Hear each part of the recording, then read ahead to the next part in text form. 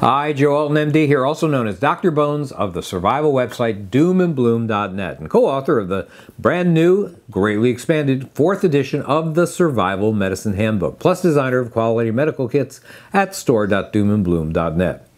As of the end of 2021, the SARS-CoV-2 virus has been the scourge of the modern world for two full years.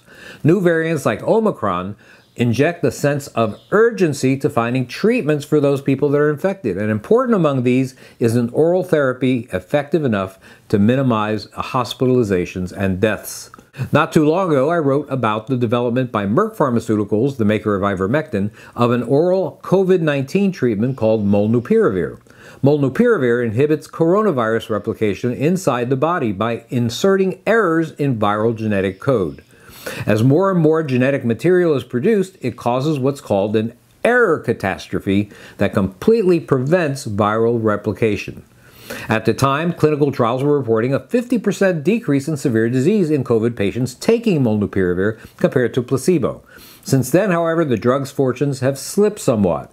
Current evidence has modified the effectiveness against COVID-2 down to about 30%. Better than nothing, but given the lackluster results with molnupiravir, a better alternative was needed. This comes in the form of a Pfizer pharmaceutical combination drug known as Paxlovid. Paxlovid is a combination of the experimental drug nirmatrelvir, don't ask me how to pronounce that correctly, and the HIV drug ritonavir.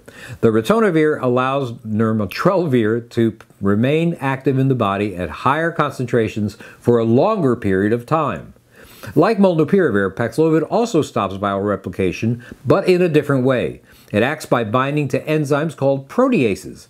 Without protease, viruses can't reproduce. Given the importance of these enzymes, the new drug actually could have potential against future outbreaks of related viruses like SARS or other coronaviruses.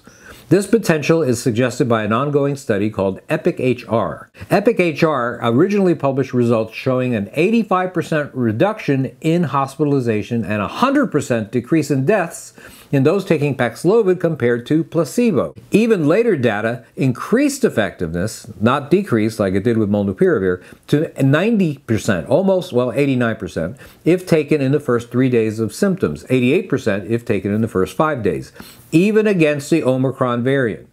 Adverse reactions include headaches and muscle aches, about the same as molnupiravir. If approved, a dose of 300 milligrams of nirmatrelvir and 100 milligrams of ritonavir would be given twice a day for five days. As with many antiviral drugs, treatment should begin at the first sign of symptoms or after a suspected exposure. If taken too late, the benefits are greatly diminished. The newly developed drugs won't be cheap, costing at least several hundred dollars per treatment.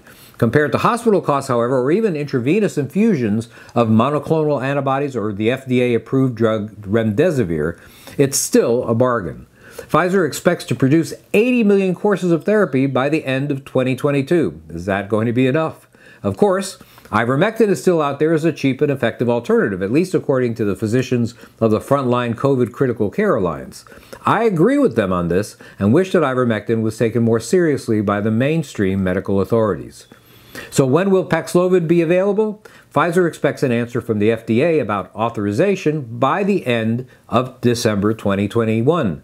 And pending approval, millions of doses are already manufactured and ready to go. In the next year, expect a number of other new COVID drugs emerging. Hopefully, one or more will pan out to be effective strategies against the pandemic virus. This is Joe Alton, MD, that old Dr. Bones, wishing you the best of health and good times or bad. Thanks for watching. Hey, are you medically prepared for the uncertain future? Find out what you need to know in a long-term disaster with a copy of the brand new, greatly expanded fourth edition of the Survival Medicine Handbook, available at Amazon and at store.doomandbloom.net. You'll be glad you did.